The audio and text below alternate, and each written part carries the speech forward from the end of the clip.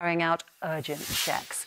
The schools minister revealed that the collapse of a beam, which had previously been considered safe, sparked an urgent rethink of whether structures made with aerated concrete could stay open.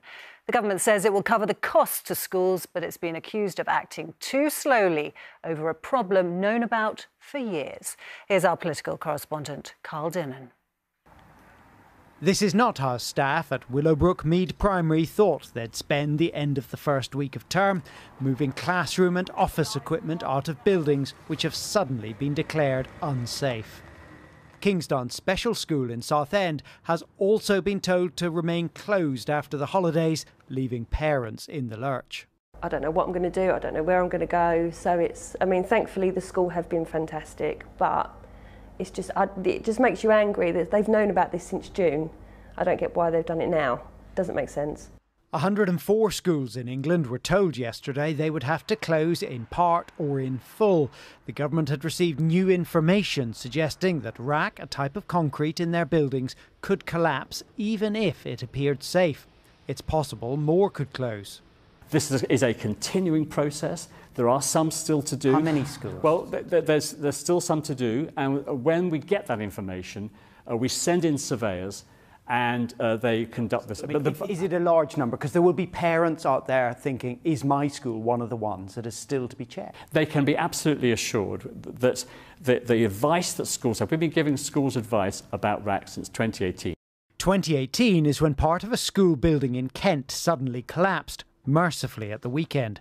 The problem is reinforced autoclaved aerated concrete, or RAAC, and it's a problem that's known about. A school collapsed in Kent five years ago. They had a report from the National uh, Audit Office a couple of years ago. Their own officials in the Department for Education told them the situation was critical in December. They did nothing again and again, despite knowing this problem was coming. Perhaps not absolutely nothing. Another 52 schools are already doing remedial work, some of them partially closed. It was devastating. It was devastating, and, and our, my whole thing, because they kept talking to me and apologising and saying the inconvenience. For me, I don't care about the inconvenience. The most important thing is that the children are safe while a total of 156 schools in England either look for new space or prop up their ceilings. In Scotland, Wales, and Northern Ireland, the work is still being done to find out which school buildings contain RAAC. Carl Dinnen ITV News, Westminster. Pablo Taylor is outside one of the affected schools in Leicester. Pablo, what sort of measures are staff having to take there? Well, pupils here at Willowbrook Mead Primary School started the new term on Tuesday, but were sent home midday yesterday over safety concerns. This is one of three schools that we know of in Leicester affected by this concrete issue. Part of the building, we're told, is unaffected, but a section towards the back where Key Stage 2 pupils are taught, that's uh, years 3, 4, 5 and 6, is affected. Now, uh, the school says it won't reopen until Tuesday so that arrangements can be made for housing pupils. It says that learning in the meantime will continue online. In a statement today, the trust responsible for the school said it understands the news will be concerning for everyone.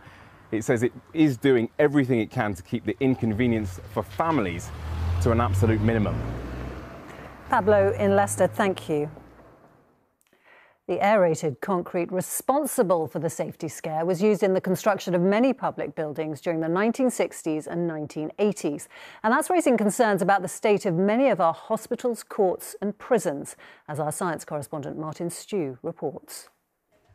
This was Kings Lynn Hospital in May, staff treating patients under ceilings supported by wooden struts we know RAAC was widely used from the 60s to the 80s in the construction of many of the pillars of public life. I don't think it is easy to understand the scale.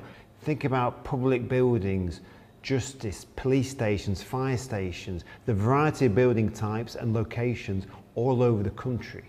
So, what is RAAC? Well, it stands for reinforced, which means it has steel in it, autoclaved, which means it's heat treated, aerated, which means it's bubbly, so it's lighter and is a good insulator, concrete, which does exactly what it says on the tin.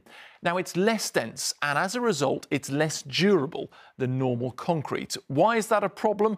Well, watch this video. On the left, nearest me, is modern concrete, and on the right is RAAC. You can see as the pressure is loaded on, RAAC becomes crumbly and weaker. Now, RAAC's life expectancy can be as little as 30 years, especially if it gets damp due to poorly maintained roofs.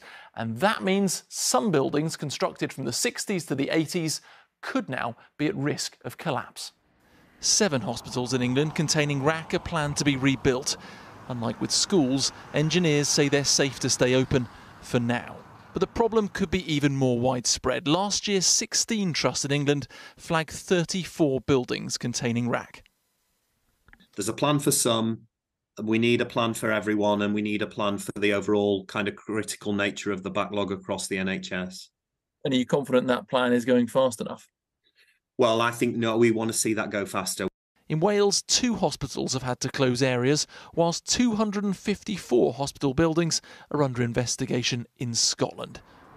Seven criminal courts were found to contain RAAC. One in Harrow has had to close. The government has put aside £15 billion, but with reviews underway of police stations, prisons, and military buildings, the bill could be far larger. Martin Stew, ITV News. Our investigations correspondent Daniel Hewitt first highlighted the scale of this crisis back in March, and he joins me now. Dan, as you've been reporting, schools, hospitals, and other public buildings are literally crumbling. Is the government doing enough to get a grip on this?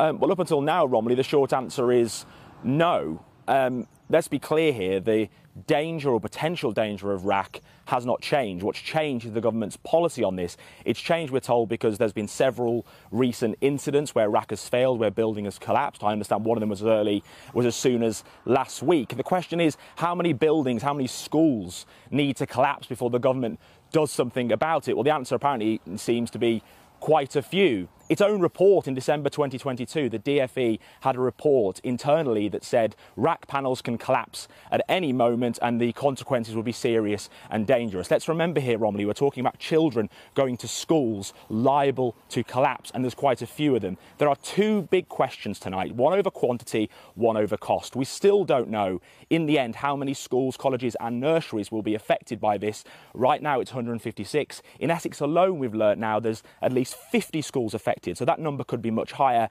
And therefore, the cost here, as Martin just suggested, could be absolutely huge to the taxpayer. I'll give you one example. I went to a school in Sheffield in March, a primary school, where two roofs were made of RAAC. They're spending £650,000 to replace them. If that's repeated across these schools we're talking about, the cost will be absolutely huge. The government has spent very little time talking about this issue over the last few years. I suspect they'll be talking quite a lot about it over the next few months.